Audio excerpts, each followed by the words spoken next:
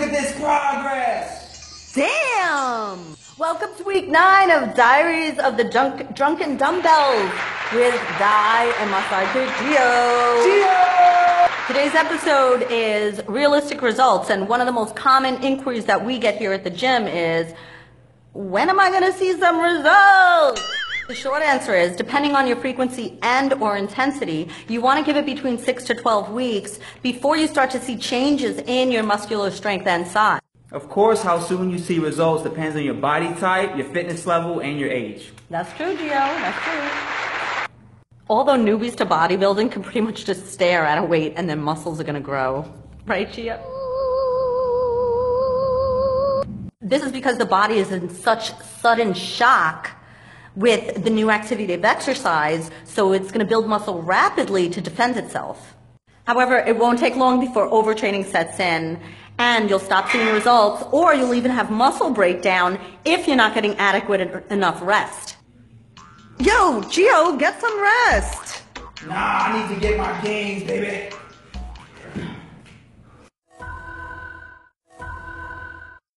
It's not the act of exercise that causes your body to get stronger. Exercise is actually physically, metabolically devastating to the body. But it's the body's ability to recover is where the benefits lie. You don't build muscle in the gym, you only trigger it for growth. No rest equals no. This quick progress will taper as you become fitter. So you have to keep varying your workouts. You have to keep challenging yourself, heavier weights. And this is true for somebody who's already fit and has a large amount of muscles already. This is why it's really important to get adequate rest between each workout and also change your variables. There are some realities to be aware of though. The odds are against you. The problem is most people will quit before they even see a single pound of muscle. Forget this. The average person won't last six weeks. And I'm not saying this to dissuade you. You should actually use what I say as motivation, but it is the reality.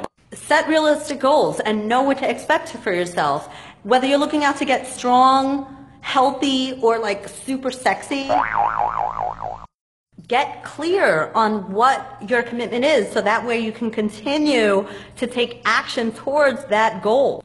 Look, Shop around for a gym that you're comfortable in. Yeah, and then educate yourself to be your own damn trainer.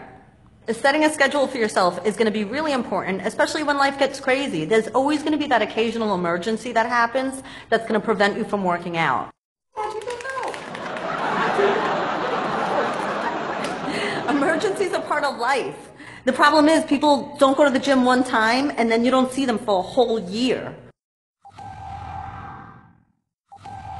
Stop acting like living a healthy life is such a big deal. You're attaching too much emotional judgment to just going to the gym.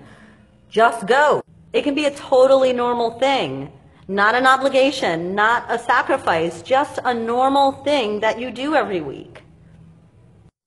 What's funny is that when you're consistent in the long term, you'll see amazing results in the short term.